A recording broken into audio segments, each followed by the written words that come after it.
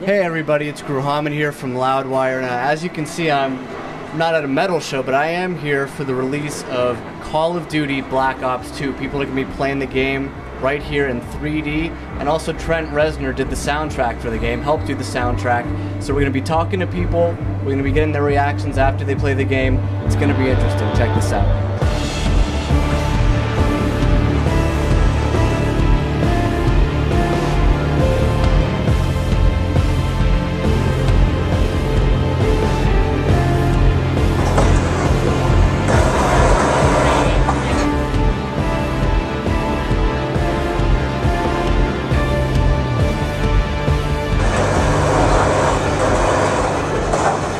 I'm here with Matt. Matt, how was the gaming experience for Call of Duty Black Ops 2? Um, it was actually everything I was hoping for. Um, the graphics are unreal, and now I'm just kind of mad that I have to wait another hour and a half to go back and play it. It's smooth. The weapons seem to be balanced, unlike last game where the FAMAS and the AK-74 were way over the top.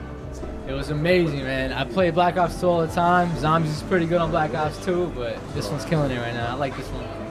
It's it's really fun. It's a it's a huge change from Black Ops One. Um, details are just amazing in the game, and yeah, it's it's really fun. Yeah, the, the guns are pretty cool, so I'm really into the game right now. And are you guys stoked that you'll be able to kill some zombies in this game? Yeah, that's what I'm waiting for. Yeah, that's the main thing. That's the main thing of Black Ops right. Yeah. Did you know that Trent Reznor from Nine Inch Nails helped compose the soundtrack to the game? I did not know that. Actually, It's true. it's, it's pretty exciting. Actually, that's uh, I want to go back in there. I bet. Did you know that Nine Inch Nails' Trent Reznor helped do the soundtrack? I have no idea. Who is that actually? Do you know who that is? do you know who Kesha is? Yes. Unfortunately. Do you know the band Avenged Sevenfold? Yeah. Yeah. Do you know that they're in the game as uh, characters and they play a song for you guys in the game? What during zombies? Right? Zombies? Zombies. I don't know when. They ju- they're in the game somewhere. cool. You can't you can't shoot them though. You're gonna get the game at midnight. Uh, how long do you think it'll be before you see sunlight again?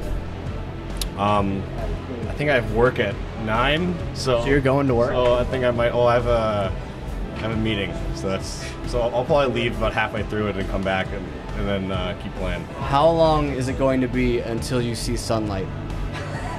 Let's see. The sun rises at seven, right? sun rises at So seven, when we get home, like around one, probably seven hours. You know, from when we get home. Yeah, we're probably gonna, probably, probably won't gonna go to be bed. coming through the bedroom. But as an outside, I don't know. That could be a while. Be two days. Be Two days. I don't know. I'll, I'm be in my house uh, all yeah, like all week long, playing the game. Probably not even go to school.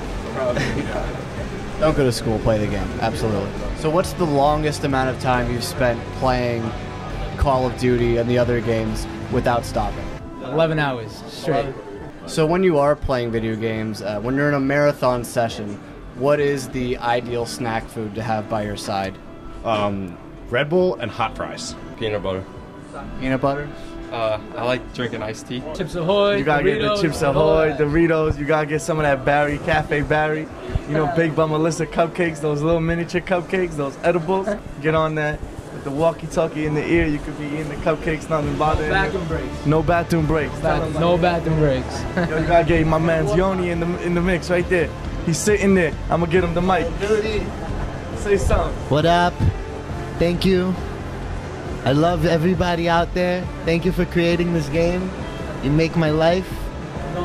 Without it, I don't know who I would be. Yeah, where's this going up? Facebook? Facebook?